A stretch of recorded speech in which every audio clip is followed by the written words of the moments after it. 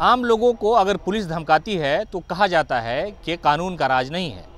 लेकिन जब बिहार विधानसभा के अंदर विधायक डीएसपी को मुक्का दिखा दे और कहे कि चुप रहो, खामोश रहो नहीं तो पेट में मुक्का मार दिया जाएगा। ये हम नहीं कह रहे हैं, बल्कि वो तस्वीर, वो फुटेज हम आपको दिखा रहे हैं। जब बिहार विधानसभा की कार्रवाई शुरू हुई और कार्रवाई के बाद लगातार भारतीय जनता पार्टी का हमला, जो सत्ता पक्ष है, उस पर जारी था।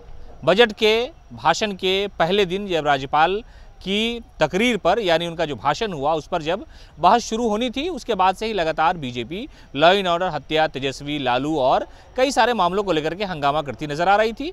इसी दरमियान कल जो है, बीजेपी के एक विधायक ने, जो बिहार विधानसभा के अंदर माइक है, लोकतंत्र का माइक जिससे आवाज़ रखी जाती है, उसको ही तोड़ दिया। इतना गुस्सा में निचोड़ा मचोड़ा कि वो टूट गया।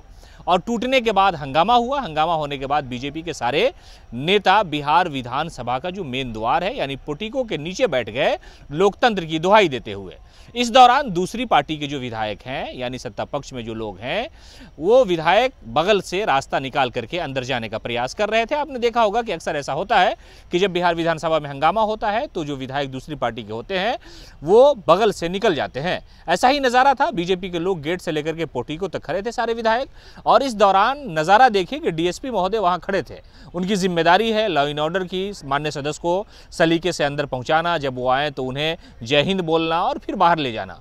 इसी दौरान मान्य सदस्य आ रहे थे, जा रहे थे, लेकिन राघवेंद्र प्रताप सिंह को देखिए कि डीएसपी महोदय को पहले उन्होंने हाथ पकड़ के कहा कि आप पीछे हो जाइए। उन्होंने शायद कुछ कहा होगा कि, सर थोड़ी सी जगह रहने दी जाए ताकि दूसरे सदस्य जो आएँगे तो वो आसानी से यहाँ पहुँच सके लोकतंत्र के मंदिर में।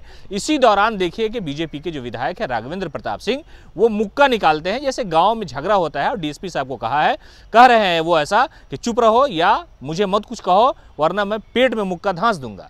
ये नज़ारा है। इससे पहले भी बिहार विधानसभा में आपने देखा होगा कि किस तरह से हंगामा हुआ था और उसके बाद उस दौरान जो विपक्ष में पार्टियाँ थी, जो मौजूदा वक्त में सत्ता पक्ष में है, उन्होंने भी इल्ज़ाम लगाया था पुलिस पर कार्रवाई को लेकर के कि किस तरह से एक तरफा कार्रवाई की गई। लेकिन ये तस्वीर हम आपको दिखा रहे हैं एक्सक्लूसिव देखिए आप कि किस तरह से राघवेंद्र जो है, वो मुक्का बांधे हैं और लोकतंत्र के मंदिर में दूसरे सदस्य को जाने के लिए रास्ता देने की गुहार लगाने वाले डीएसपी को कह रहे हैं कि आप चुप रहिए, वरना पेट में मुक्का धांस दिया जाएगा।